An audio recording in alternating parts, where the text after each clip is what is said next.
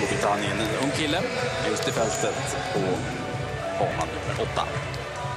Men det är framförallt eh, Shane Ryan och eh, Glinta, männen på bana nummer fem, vi ska titta lite extra på.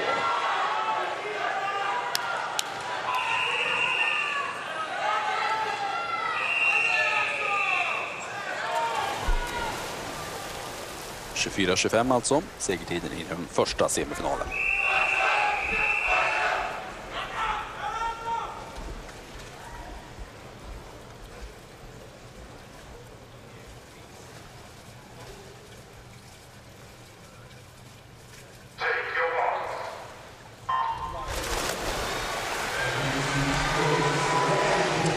Shane Ryan, den som kanske går allra djupast under vattnet efter starten där. Och eh, det är han och eh, Glinta som väl går allra starkast. Sen också 15 meter så är det kanske Glinta som har en liten, liten ledning. Och eh, då, han kommer eh, fixa det här på en kanontid. Titta! Oj, oj, oj! 24 och 12.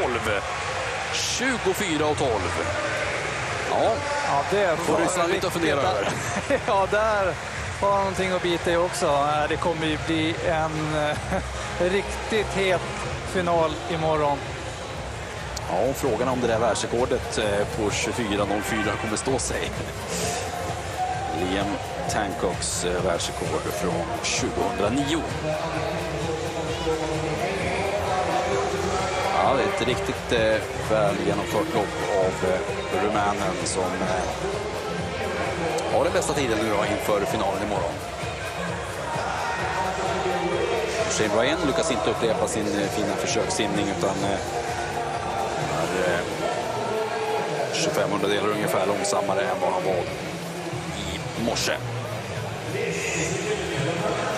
Glinta alltså före Kolesnikov och Morozov. Det är väl eh, de där tre då som vi kanske tror ska göra upp om guldet i, eh, imorgon.